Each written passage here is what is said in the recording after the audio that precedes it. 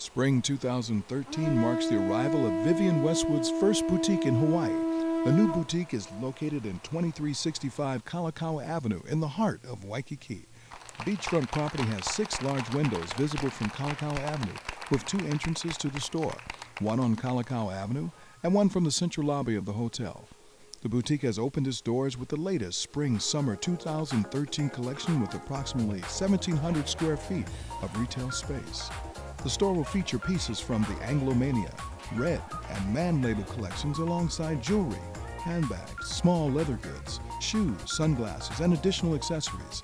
Now recognized as a global brand, Vivienne Westwood is known for its avant-garde yet timeless designs, and Vivienne herself is considered to be one of the most influential fashion designers in the world today.